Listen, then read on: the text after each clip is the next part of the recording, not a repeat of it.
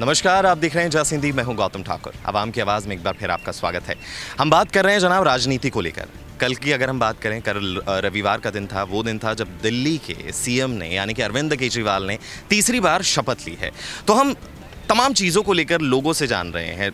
ये मायने नहीं रखता कि क्या उन्हें राजनीति में दिलचस्पी है, क्या वो राजनीति को डीपली देखते हैं, लेकिन वोट देने का अधिकार हर किसी के पास है। तो वो किसी भी स्टेट का हो वो इन दो चेहरों के बारे में क्या सोचता है? अरविंद केजरीवाल और पीएम नरेंद्र मोदी। जी हाँ कुछ लोग ये भी सोच रहे होंगे कि क्या इनका कोई कंपैरिजन भी बनता है। लेकिन अगर हम यू अपने दिल्ली की बात करें, राजधानी की बात करें तो कंपैरिजन कहीं ना कहीं बनता है, क्योंकि बीजेपी जहाँ बहुमत से जीती है लोकसभा के चुनाव, वहीं दिल्ली विधानसभा के चुनाव में उसको महज आठ सीटें ही मिल पाई है। तो हमने कोशिश की है कि यहाँ पर जो दिल्ली वाले हैं उनसे ही मुलाकात हो गई है।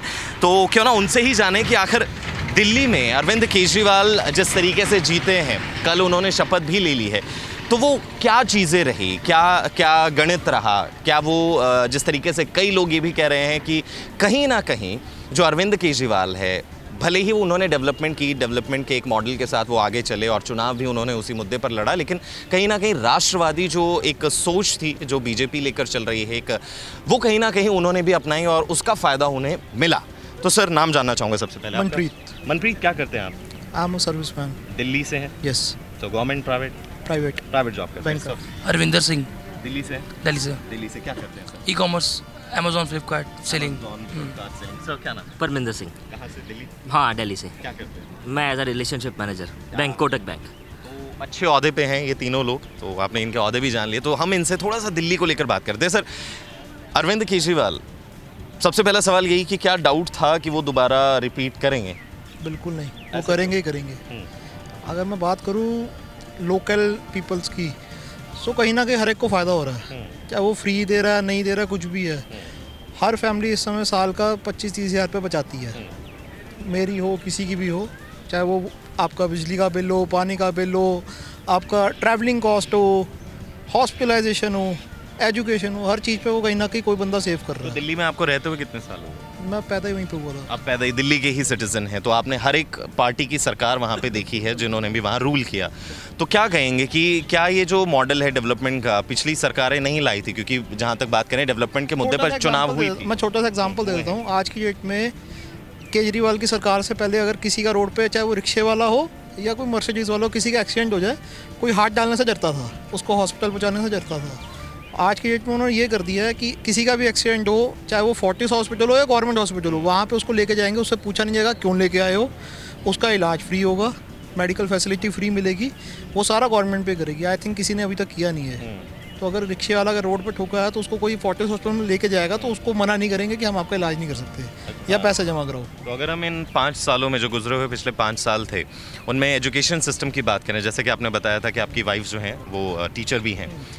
तो कैसा रहा? गवर्नमेंट स्कूल्स का कैसा रहा? गवर्नमेंट स्कूल का अब अगर आप देखोगे एवरेज अगर स्कोर भी देखोगे तो काफ़ी 96 97 परसेंट पे पहुँच गया जहाँ पे पहले कभी पासिंग मार्क्स पे एक बात होती थी।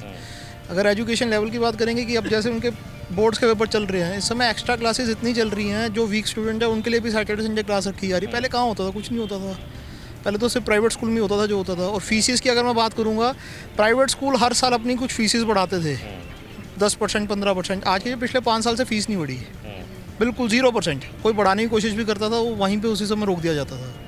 ये चेंजेस हैं। फिर अच्छा आप में से कोई किसी स्पेसिफिक पार्टी को सपोर्ट करता है पहले ना अभी तक अब आप ही है। अभी तक आप। देखो वही बेसिकली डील कि हाँ कि जो बंदा काम कर रहा है ना उस हिसाब से उसको वोट दिया जाए। अगर हम टो, टोटल अगर हम सेंट्रल की बात करें तो हमने बीजेपी को वोट दिया था क्योंकि कांग्रेस के पास और आम आदमी के पास इधर कोई चेहरा नहीं था। हमने वहाँ किया ठीक है? ऐसा नहीं है कि हम किसी पार्टी से बिलोंग कर रहे हैं। वही बेसिकली बिलोंग कि जो बंदा काम कर रहा है उसको उसका हक देना चाहिए। आप इस बार आम आदमी पार्टी का जीत का देखो बेसिक बेसिकली फंडा था तीन चार चीज़ों पे। एजुकेशन पे था अगर आप देखो ट्रांसपोर्टेशन पे था बिजली पे था और उनका हॉस्पिटैलिटी पे था। अगर आप देखो कोई भी बंदा अगर आप एक रफली कैलकुलेशन लोगे ना मैं पिछले काफ़ी टाइम से अपना बिजली का बिल ज़ीरो दे रहा हूँ। अगर आ भी रहा है तो मात्र डेढ़ सौ दो सौ कुछ भी आता है इससे ऊपर नहीं आता है। ठीक है? अगर आप देखो मोटा मोटा अगर बिजली पानी भी बचा रहा हूँ मैं जो जितनी भी लेडीज़ हैं उनके लिए ट्रांसपोर्टेशन फ्री है। उसके बाद आपको मेडिकल फ़ीस है और ये मेडिकल के अंदर मैं रीज़न इसलिए दे पा रहा हूँ क्योंकि लास्ट मंथ मेरा एक friend one of my friend वो उसका एक्सीडेंट हुआ। अर्लियर क्या प्रॉब्लम था कि कोई उनको उठाता नहीं था बेचारों को? अब उनमें क्या है कि उनको किया गया ट्रीटमेंट किया गया। Till the time he was not in to the senses किसी ने उसको लिए इंक्वायरी भी नहीं किया। और उसका सारा इलाज आज भी उसका उस पर चल रहा है गवर्नमेंट हॉस्पिटल्स पर चल रहा है। तो किसी का कोई नहीं है। तो आम जनता को इससे बहुत आराम है। अगर मैं टोटली रफली कैलकुलेशन देखूँ तो बंदा चार से पाँच हज़ार बचा बचा रहा है। अगर मैं साल का देखूँ तो बारह, पंच, साठ। यानी कि अगर वो साठ हज़ार रुपये अगर कोई आपको दे रहा है फ्री का दे रहा है तो आपको क्या दिक्कत है? बीजेपी बोलती है कि सीधी सी बात है कि हमें आप वोट दो। इस बार का उनके मैनिफेस्टो में था कि आप हमारे को इस बार का वोट दो, हम हम भी ये काम करेंगे, हम इतनी यूनिट आपको देंगे, इतना फ्री देंगे। आज दस साल बाद आपको क्यों याद आई है? ये चीज़ आपको पहले भी याद आ सकती थी। ठीक है, सीधी सी बात है। आप अगर देखोगे, अगर, चलो मैं भी ये कहता हूँ कि आप दोगे। आप किस बेसिस पे अपने आप को क्लेम करते हो? पार्टी कभी भी कोई नहीं आती है तो क्या बोलती है कि भाई मैं ये आऊँगी तो मैं ये करूँगी मैं यहाँ करती आई हूँ मैं यहाँ करती। आप स्टेट में हो आप रोल मॉडल आप कर कर रहे हो ना? आपने रोल मॉडल आपने आज तक रो- आपने आज तक दिल्ली का इलेक्शन इतना बड़ा इलेक्शन है हब है मेन सेंटर है आपने आज तक अपना कोई कैंडिडेट नहीं चुना उसके लिए कि आप किसको सीएम बनाओगे? When you don't have the CM candidate अब उसका कोई चेहरा नहीं है तो आप किस बेसिस पे वोट मांग रहे हैं पहली बात? नहीं मांग सकते उस बेसिस पे। दूसरी बात आपकी बाकी स्टेट्स में भी तो आपका है ना? सब जगह आपके स्टेट्स में आपके बीजेपी का है ना टोटल आपने वहाँ क्या किया आज तक? किसी के लिए कुछ नहीं कर रहे? आपके पास इस बार आम आदमी पार्टी ने एक बार भी आपको एक गाली नहीं निकाला। एक बार भी आपके खिलाफ उल्ट पटांग नहीं बोला। एक बार भी आपको ये नहीं दिखाने की कोशिश की कि आप नीचे हो या ऊपर हो। उसने ये बोला कि मैं ये काम कर रहा हूँ मैं ये काम करता हूँ मैं ये काम कर रहा हूँ और मेरे को इसी पे वोट दो। आपको लगता है कि मुझे वोट देना चाहिए तो मुझे वोट दीजिए। मोदी जी और ये क्या नाम है, मोदी जी और अपना अमित शाह जी, सारा टाइम शाहीन बाग शाहीन बाग करते रहे। अरे सेकंड मुद्दा तो उठा लो। आप अभी भी देख लेना, ये जितना शाहीन बाग पे मुद्दा उठाया जा रहा है ना, ये मुद्दा था नहीं। क्यों? क्योंकि उनके पास कोई और पार्ट उसके बारे, उनके पास कोई एक टॉपिक नहीं था।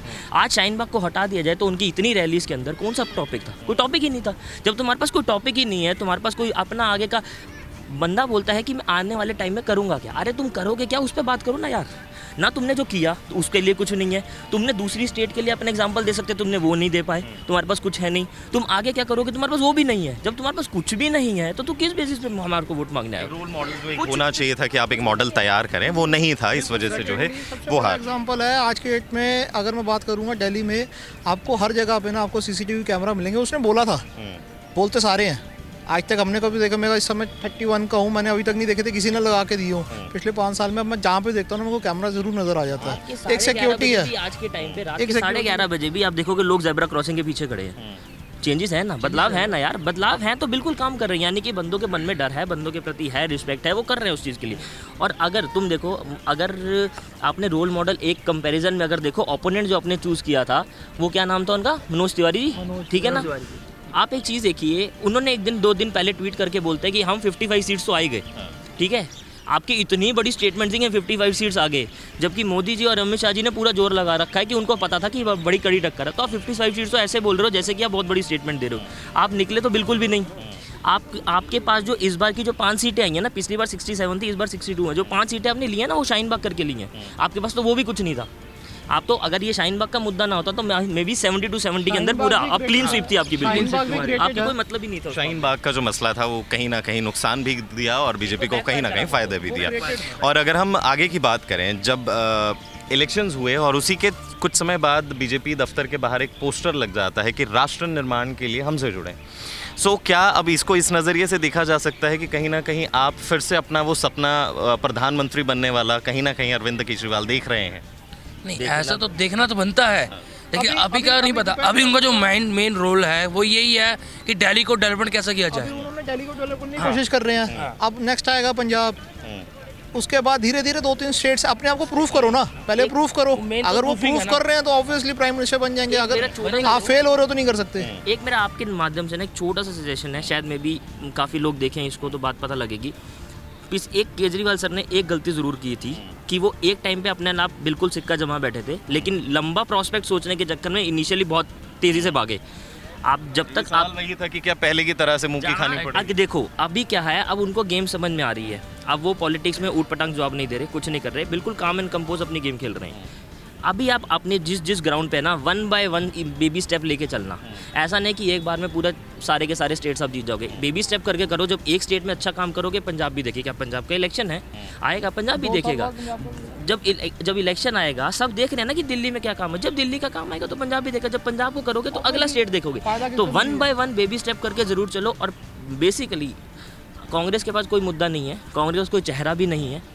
बीजेपी के पास सिर्फ़ एक मोदी जी मोदी जी हैं और बस और कुछ नहीं और हिंदू मुसलमान रहेगा और वो कभी ज़िंदगी में उससे आगे वो नहीं बढ़ सकता। नारा है हिंदू मुसलमान ठीक है ना, आगे नहीं बढ़ सकते अच्छा मैं एक छोटी सी बात और बोलता हूँ सबने मेरे को ना मैं कहीं भी बैंक में था मैं दो तीन जगह फंसा भी इस मामले में। लोगों ने मेरे को बोलने लग गए कि हमें हिंदू हिंदुता बचानी है हिंदुता बचानी है। अरे बाबा एक बात सुनो मैं छोटा सा आपको एक रफली कैलकुलेशन हाँ इसका बिल्कुल क्रिस्प देता हूँ। हिंदूज़ की पॉपुलेशन कितनी है? Eighty percent? क्रिश्चियंस की मतलब मुसलमानों की प्रॉपर्टी परसेंटेज कितना है? चार परसेंट? सरदारों की कितनी है? दो परसेंट। बाकी तो अदर अदर अदर छोड़ दो। अरे भाई, दो परसेंट वालों को करतना नहीं है तुम अस्सी परसेंट वालों के लिए कहाँ नंडोरा पीटने बैठे हो यार? तुम्हारी पॉपुलेशन अगर दो परसेंट होती तो तुम रोना रोते यार। तुम अस्सी परसेंट होकर रोना रो रो कि हमें हिंदुता बनाना हिंदुता अरे हिंदुता तो बची हुई है भाई। मरना तो हमें चाहिए, रोना तो हमें चाहिए, हम ही नहीं रो रहे तुम्हारे लिए। ऊपर से हम जाके मुसलमानों को भी सपोर्ट करें। अरे तुम चाह क्या रहे हो? पहले सोचो क्लैरिटी ऑफ़ थॉट लो फिर ज़िंदगी में कुछ करना। चलिए शुक्रिया। क्लैरिटी ऑफ़ थॉट्स लाने की ज़रूरत है जनाब का कहना है। और अरविंद केजरीवाल जिस तरीके से तीसरी बार प्रधानमंत्री बने हैं कल उन्होंने शपथ ली है तो कहीं ना कहीं अब लोगों के दिमाग में भी ये भी है कि आने वाले चुनावों में क्या वो आगे बढ़ने की सोचेंगे। एक मॉडल तो ज़रूर वो तैयार कर रहे हैं कि क्या जो उनका एक सपना एक कहा जाता है कि प्रधानमंत्री बनने का उनका एक सपना है, जो पिछली बार देखने में बहुत जल्दबाजी उन्होंने कर दी थी। क्या वो सपना अब पूरा करने की ओर वो धीरे धीरे कदम बढ़ाएँगे? जैसे उन्होंने पोस्टर लगाया कि राष्ट्र निर्माण के लिए हमसे चुने तो क्या वो राष्ट्रवादी मुद्दे उठाएँगे या फिर कहा जाए कि राष्ट्रवादी राजनीति करते हुए अब वो नज़र आएँगे? तमाम चीज़ें जनाब, जिनका जो जवाब है वो आने वाले वक्त में ज़रूर मिलेगा, लेकिन आज कुछ सवाल हमारे हैं जो हम आम लोगों से जानने की कोशिश कर रहे हैं। तो एक छोटा सा ब्रेक ले लेते हैं, जल्द लौटेंगे। ब्रेक के बाद एक बार फिर आपका स्वागत है। दिल्ली में अरविंद केजरीवाल की सरकार एक बार फिर बन चुकी है। जी हाँ कल अरविंद केजरीवाल ने मुख्यमंत्री पद की शपथ ली, उनके साथ कई और मंत्री थे जिन्होंने शपथ ली है। तो हम आम लोगों से जान रहे हैं कि क्या वो चीज़ें थी, क्या वो गणित था जो उन्होंने बैठाया और वो तीसरी बार दिल्ली के जो हैं वो मुख्यमंत्री बने हैं। और क्या वो अब राष्ट्रवाद का मुद्दा उठाने वाले हैं? क्या बाकी स्टेट्स में जिस तरीके से उन्होंने जो अपना पुराना सपना देखा था क्या अब वो पूरा करने के लिए पंजाब हरियाणा और बाकी स्टेट्स में भी अपना कब्जा करने की कोशिश करेंगे यानी कि अपनी सियासत चमकाने की कोशिश करेंगे? तो कुछ और लोग मेरे साथ हैं। क्या नाम है सर? राहुल कुमार। राहुल कुमार क्या नाम है सर? आशीष गुप्ता। आशीष कहाँ से चंडीगढ़। चंडीगढ़ से। आप पीछे से कहाँ से राजपुरा सर राजपुरा से। सो so, क्या नज़र में आता है कि केजरीवाल जीत तो गए? तो क्या लगता है आपको कि कहीं ना कहीं जो हनुमान चालीसा था बजरंग मंगलवार को ही जो है वो उनको पता चला कि जीतेंगे और वो मंदिर गए। और इन तमाम चीज़ों को लेकर भी कहीं ना कहीं सवाल उठ रहे हैं कि ये कहीं ना कहीं उनको फ़ायदा दिया जय श्री राम के नारे। क्या आपको लगता है कि ऐसी चीज़ों ने उनको फ़ायदा पहुँचाया है? एक्चुअली बात फ़ायदे की नहीं है। बात यह है कि अगर धर्म को लेके कहना आप पहले ही जातिवाद कर रहे हो, और बाद में आप उस चीज़ को कहना कंडीशन दे रहे हो कि हाँ मैं राम नाम से जीत गया, या मैं अल्लाह के नाम से जीत गया तो इट्स डज नॉट फेयर ये पूरी तरह से टोटली गलत हो रही है बात। कि अगर आप पहले तो एक धर्म को आप चूज़ कर सको।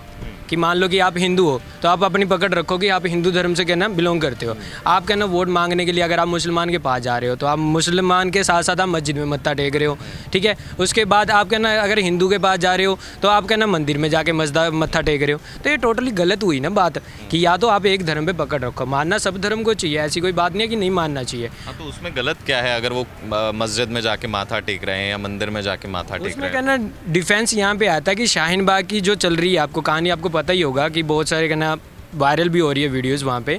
तो वहाँ पे पॉइंट क्या आ रहा है कि वहाँ पे शाहीन वीडियो वायरल हो रही है? वीडियो वायरल क्या हो रही है कि वहाँ पे कहना कुछ रिपोर्टर जाके पता कर रहे हैं कि हाँ कि आपको बिरयानी वगैरह है खाना पीना कहाँ से आ रहा है। तो वो कह रहे हैं कि अल्लाह की देन है।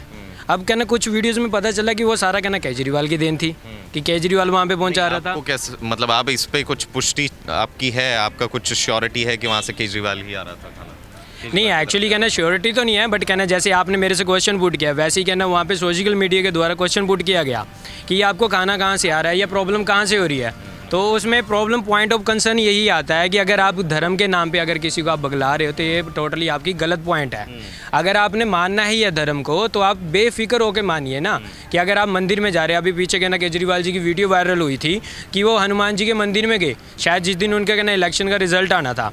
तो उस दिन उन्होंने जूते उतारे। जूते उतारते ही उन्होंने जाके कहना मंदिर में माला पहना दी। तो टोटली गलत हुई ना। ये तो धर्म की बेजती वाला काम हुआ कि अगर आप मंत्री हैं इसका मतलब ये थोड़ी है कि आप कहना कुछ भी करेंगे। अगर आपने कहना जूते उतारे। ये दिक्कत लगी कि वहाँ पे हाथ नहीं धोए उन्होंने जूते उतारे। हाँ पॉइंट ऑफ़ कंसर्न तो पहले यही है कि अगर आप किसी धर्म को मान रहे हो तो परफेक्टली मानो ना। उसकी स्वच्छता उसकी धार्मिकता को पहल दो।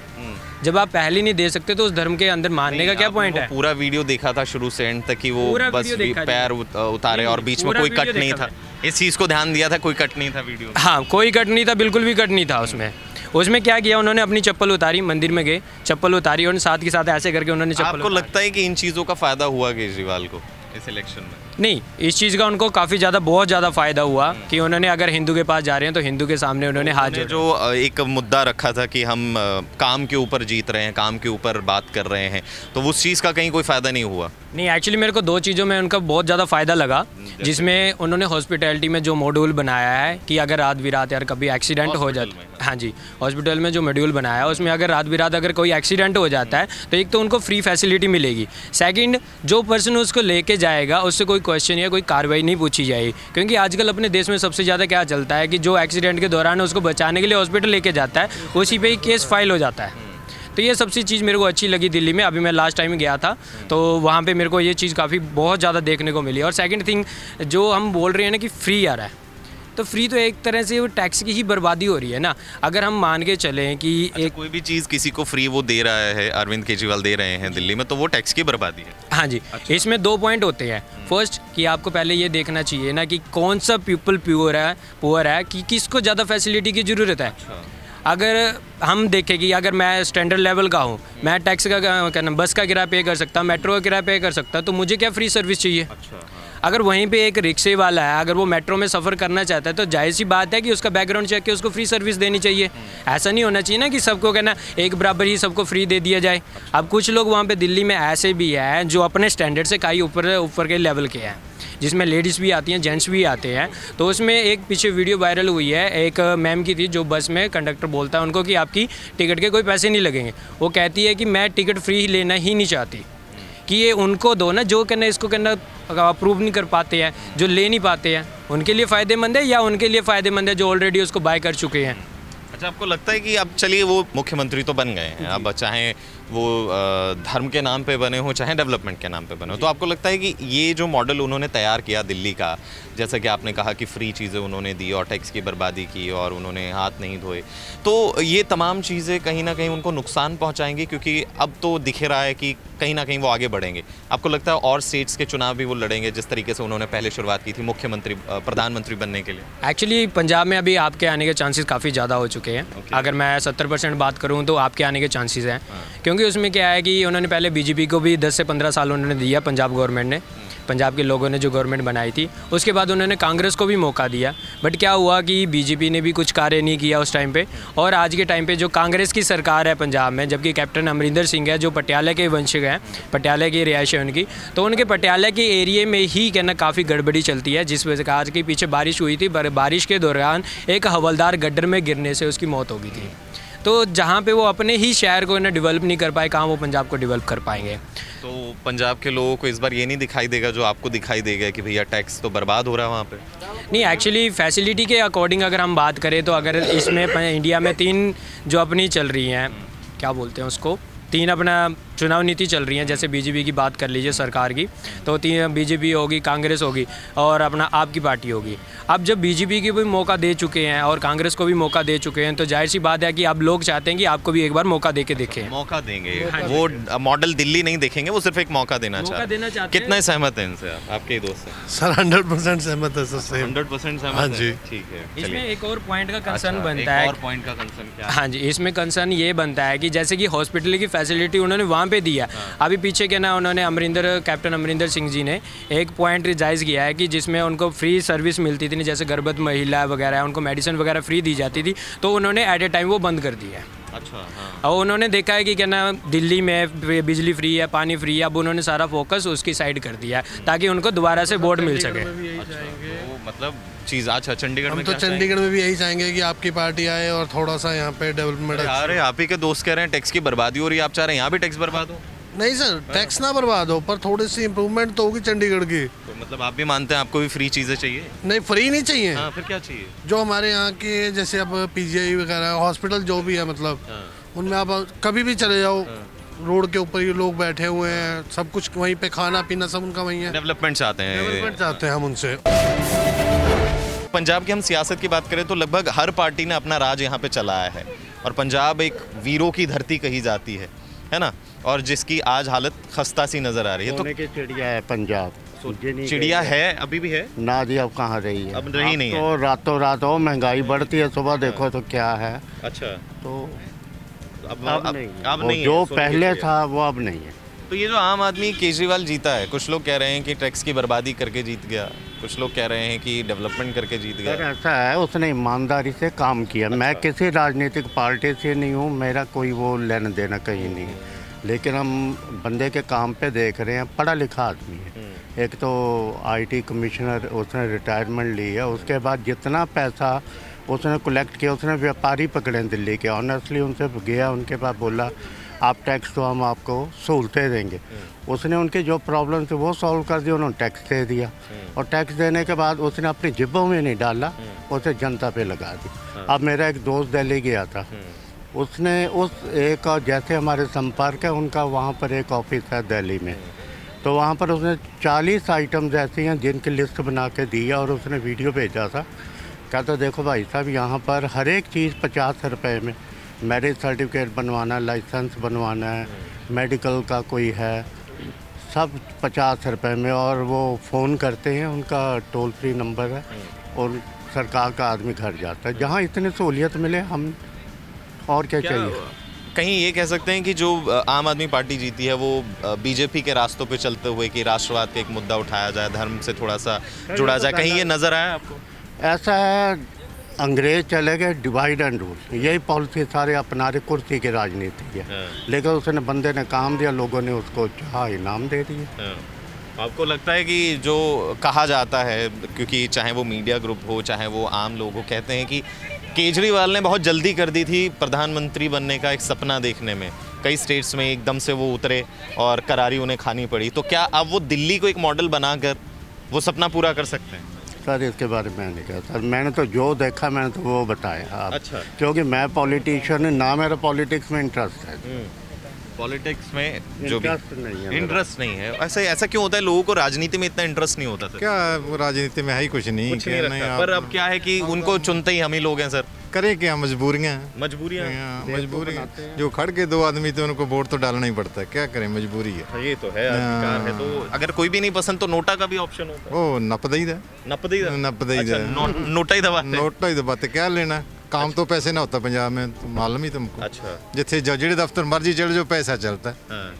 ਕਿਸ ਕੋ ਵੋਟ ਪਾ ਕੇ ਪੈਸਾ ਦੇ ਕੇ ਕੰਮ ਹੋ ਜਾਂਦਾ ਹੁਣ ਤਾਂ ਪੈਸੇ ਨਾਲ ਵੀ ਨਹੀਂ ਕਾਂਗਰਸ ਦੇ ਰਾਜ ਚ ਹੁੰਦਾ ਅਕਾਲੀਆਂ ਦੇ ਰਾਜ ਤਾਂ ਪੈਸੇ ਨਾਲ ਕੰਮ ਹੋ ਜਾਂਦਾ ਸੀ तो अभी क्या चाह रहे हैं कुछ ऐसा ही काम करवाने आए थे इधर देखो क्या होता है आज दो साल पया कोई पता नहीं क्या किधर बाजी पलट जाएगी पलटने वाली आम जनता ही है जानता क्या देखो होगा, वो तो कोई देखने पता ही नहीं वाला चलता बताएगा। क्या हो जाता है सियासत बहुत बड़ी चीज़ है पता ही नहीं क्या हो जाना है आज दो क्योंकि साल। क्या एक ये कह सकते हैं कि अब अरविंद केजरीवाल एक राष्ट्रवादी मुद्दा उठाएगा। क्या पद मालूम ही नहीं क्या होना दो साल पड़े हजे कुछ नहीं। कुछ नहीं क्या समीकरण बने कोई मालूम नहीं। कुछ नहीं मालूम। कुछ नहीं मालूम। तो क्या लगता है कि आपका सर नाम जाना चाहूँगा? बदावा सिंह चौहान। चौहान जी चौहान जी कहाँ के रहने वाले हैं? मैं रामपुरा फूल बठिंडा डिस्ट्रिक्ट।